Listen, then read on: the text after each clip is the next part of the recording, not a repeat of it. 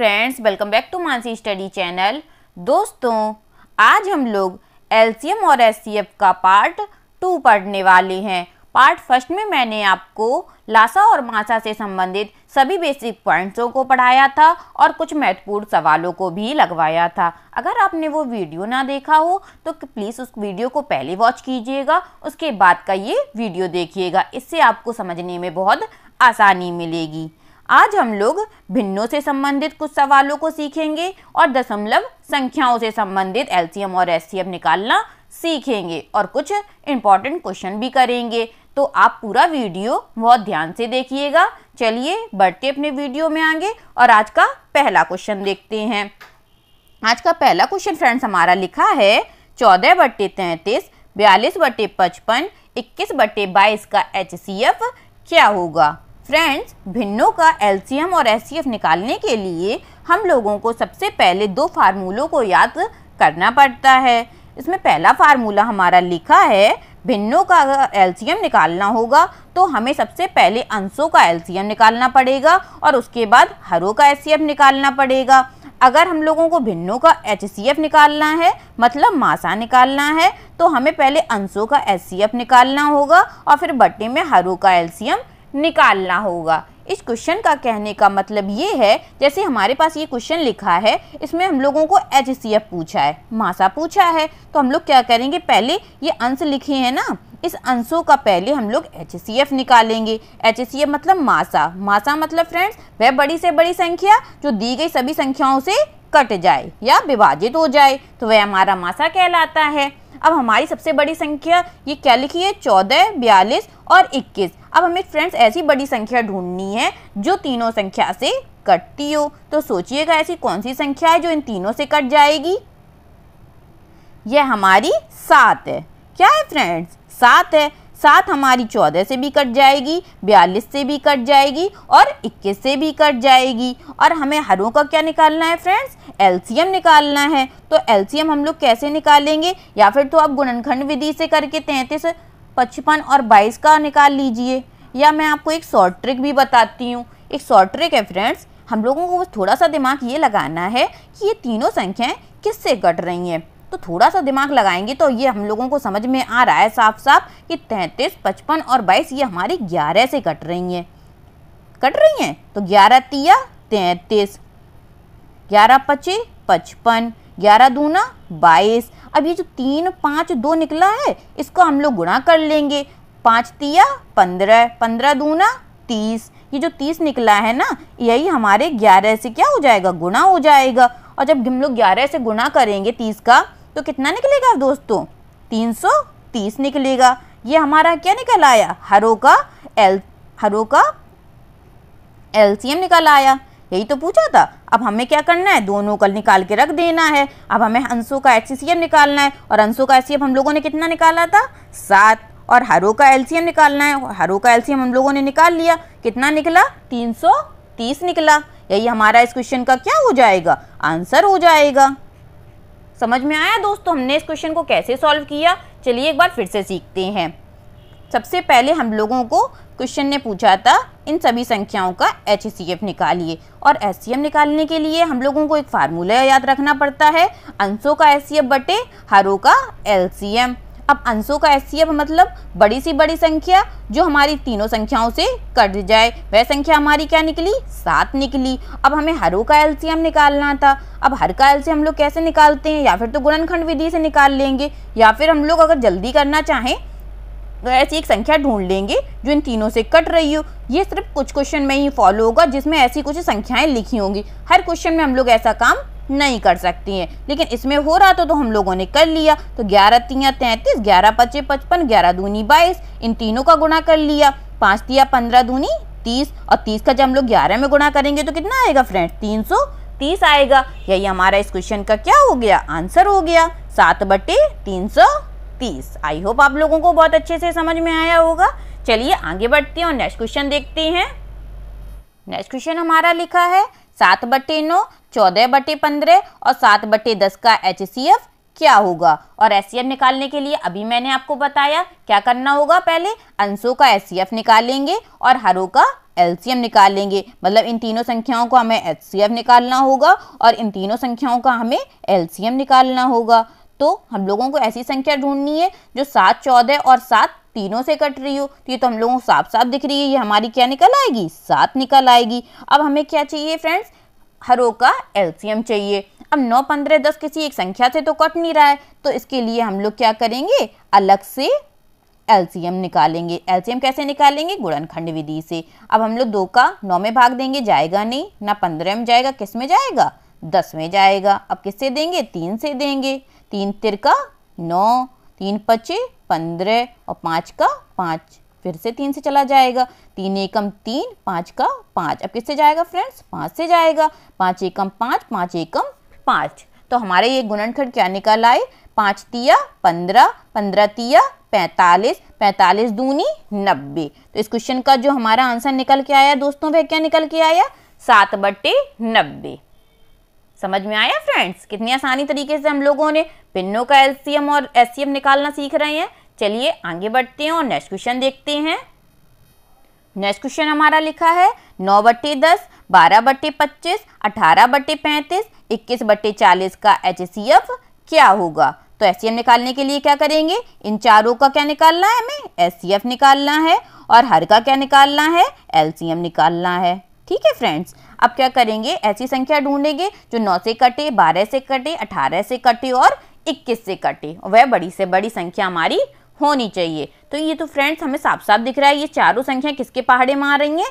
तीन के पहाड़े में आ रही हैं। तो ये हमारे किससे कट जाएँगी? तीन से कट जाएँगी। तो इसका एस हमारा क्या निकल आया? तीन निकल आया। अब हमें इन चारों का एलसीएम निकालना है। इन चारों का एलसीएम हम लोग गुणनखंड विधि से निकाल लेंगे। दस, पच्चीस, पैंतीस और चालीस। चलिए निकालते हैं। सबसे पहले किससे देंगे? दो से देंगे। गुणनखंड विधि से सभी को निकालना आता होगा। नहीं आता है तो मैंने पहले आपको सिखाया है। आप लोग वो वीडियो जाके देख सकते हैं।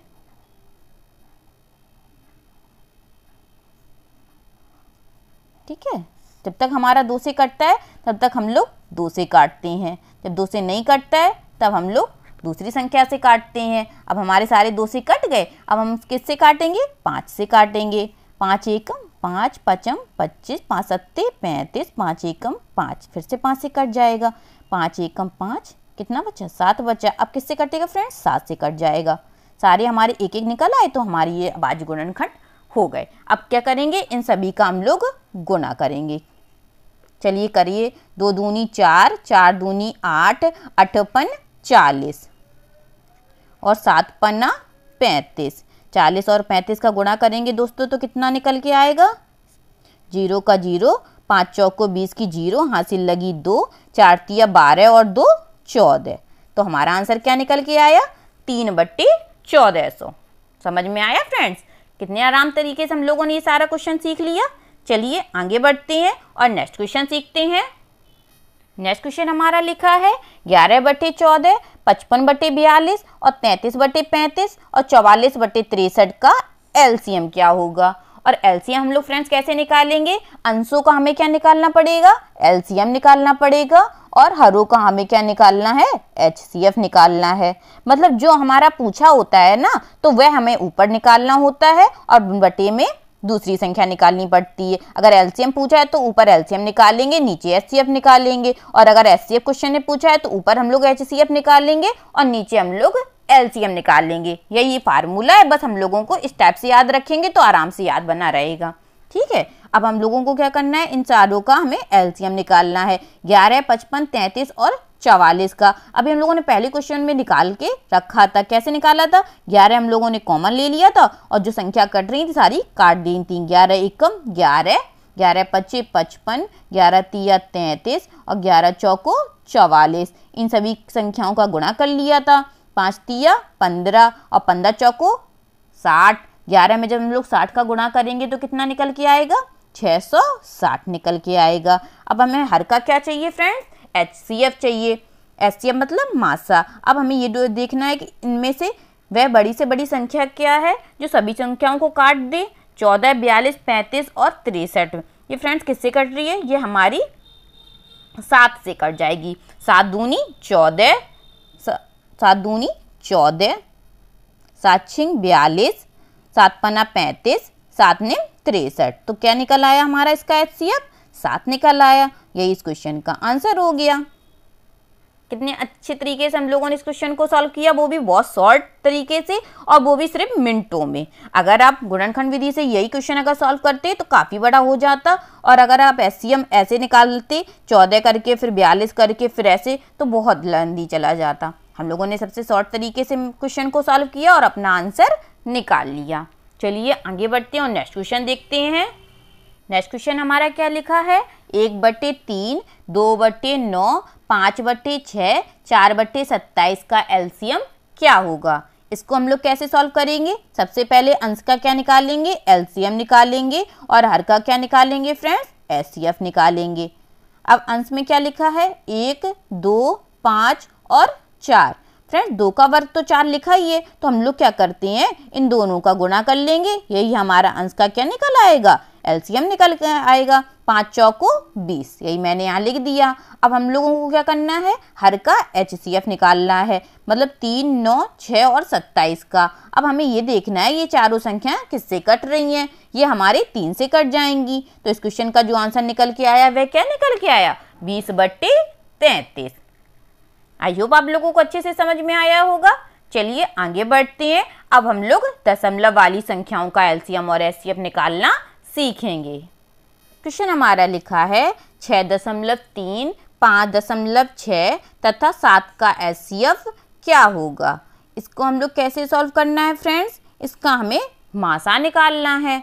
और मासा हम लोग कैसे निकालते हैं? वह बड़ी से बड़ी संख्या ढूंढते हैं, जो इन सभी संख्याओं से कट जाए। सबसे पहले हम लोग फ्रेंड्स दशमलव लगाना ही भूल जाएँगे कि यहाँ पे कहीं दशमलव लगा है। क्या करेंगे? वह संख्या ढूंढेंगे जो तिरसठ, छप्पन और सात से कट जाए। तो ऐसी एक संख्या हमारी क्या है? वह हमारी सात है। क्या है फ्रेंड्स? सात है। अब हमें बस ये देखना है कि दशमलव कितने अंकों के बाद लगा है। इसमें तो दशमलव लगा नहीं है। इसमें जो दशमलव लगा है, वह एक अंक के बाद लगा है। और इसमें कितने के अंक के बाद लगा है? एक अंक के बाद लगा है तो हम लोग जो दशमलव लगाएँगे ना, वह एक अंक के बाद लगा देंगे। बस यही हमारे क्वेश्चन का क्या हो गया? आंसर हो गया। नेक्स्ट क्वेश्चन हमारा क्या लिखा है? दो दशमलव चार ज़ीरो ज़ीरो दशमलव तीन छ तथा सात दशमलव दो का एच सी एफ़ क्या होगा? इसको हम लोग कैसे निकालेंगे फ्रेंड्स इन सभी का हमें मासा निकालना है और मासा के लिए हमें वह बड़ी से बड़ी संख्या ढूंढनी है जो इन सभी संख्याओं से कट जाए। वह बड़ी से बड़ी संख्या फ्रेंड्स हमारी क्या हो जाएगी?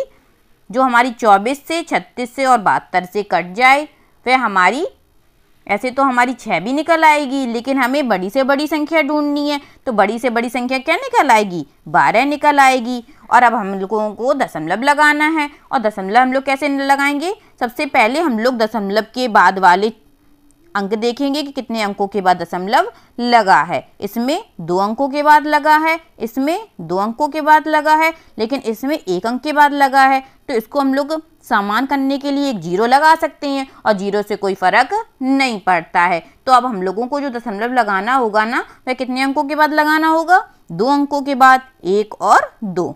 और हम लोगों ने दो अंकों के बाद लगा दिया। यही हमारा क्या हो गया? इस क्वेश्चन का आंसर हो गया। चलिए आगे बढ़ते हैं और नेक्स्ट क्वेश्चन देखते हैं। नेक्स्ट क्वेश्चन हमारा लिखा है, ज़ीरो दशमलव तीन छः एक दशमलव दो, चार दशमलव आठ का एलसीएम क्या होगा? अब हमें क्या निकालना है फ्रेंड्स एलसीएम निकालना है। एलसीएम निकालने से पहले फ्रेंड्स हम लोग क्या करेंगे?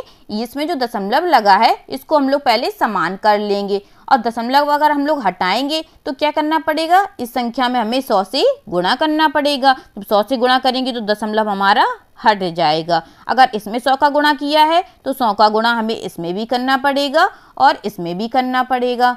तो जब हम लोग एक दशमलव दो में सौ का गुणा करेंगे तो कितना हो जाएगा फ्रेंड्स? 120 हो जाएगा। अब चार दशमलव आठ में करेंगे तो कितना हो जाएगा? 480 हो जाएगा। समझ में आया फ्रेंड्स? ये लाइन कैसे आई? क्या किया हम लोगों ने? सबसे पहले दशमलव को हटाया है। क्या किया है? दशमलव को हटाया है। तो दशमलव को हटाने के लिए हम लोगों ने क्या किया? सभी में सौ से गुणा कर दिया। जब इसमें सौ से गुणा किया तो दो ज़ीरो हमारे में दशमलव से हट गए। दो ज़ीरो आ जाएँगे तो दशमलव हमारा हट जाएगा तो कितना आ गया? छत्तीस आ गया। इसमें हम लोगों ने सौ से गुणा किया तो दशमलव इसमें एक अंक के बाद लगा तो, तो एक ज़ीरो हमें मिल गया तो हमारी संख्या क्या निकल आई? एक सौ बीस निकल आई। इसमें भी हम लोगों ने सौ से गुणा किया तो हमारी संख्या क्या निकल आई? चार सौ अस्सी निकल आई। अब फ्रेंड्स एक सौ बीस से चार सौ अस्सी पूरा पूरा कट रहा है। कितने बार कट रहा है? चार बार कट रहा है। अब क्या करेंगे हम लोग? इस चार का छत्तीस में गुणा कर देंगे। यही हमारा क्या निकल आएगा? एलसीएम निकल आएगा। छत्तीस चौको एक सौ चौवालीस। निकल आया। छत्तीस चौको एक सौ चौवालीस। अब जो दशमलव लगा था, वह कितने अंक के बाद लगा था? एक अंक के बाद लगा था। तो हम लोग दशमलव एक अंक के बाद लगा देंगे। यही हमारे क्वेश्चन का क्या निकल आएगा? आंसर निकल आएगा। आई होप आप लोगों को अच्छे से समझ में आया होगा। चलिए आगे बढ़ते हैं और नेक्स्ट क्वेश्चन देखते हैं।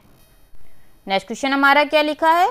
ज़ीरो दशमलव दो सात, एक दशमलव आठ तथा ज़ीरो दशमलव तीन, ज़ीरो तीन छः का एच सी एफ़ और एल सी एम क्या होगा? इस क्वेश्चन में हम लोगों को एच सी एफ़ भी निकालना है और एल सी एम भी निकालना है। सबसे पहले हम लोग एच सी एफ़ निकालेंगे। क्या निकालेंगे? एच सी एफ़ निकालेंगे। एच सी एफ़ निकालने के लिए क्या कंडीशन होती है दोस्तों? वह बड़ी से बड़ी संख्या, जो दी गई सभी संख्याओं से विभाजित हो जाए, वह हमारा उस संख्या का क्या निकल आता है? एस सी एफ़ निकल आता है। तो फ्रेंड इसमें दशमलव के बाद दो अंक हैं, इसमें दशमलव के बाद एक अंक हैं, और इसमें दशमलव के बाद तीन अंक हैं। तो सबसे पहले हम लोगों को दशमलव के बाद वाली संख्याओं को बराबर करना पड़ता है। तो हम लोग कैसे बराबर कर सकते हैं? सभी में हम लोग एक हज़ार से गुणा कर देंगे। क्या करेंगे? सभी में हम लोग एक हज़ार से गुणा कर देंगे तो हमारा दशमलव सभी से हट जाएगा और संख्याएँ समान हो जाएँगी। जब ज़ीरो दशमलव दो सात में एक हज़ार से गुणा करेंगे तो कितना हो जाएगा?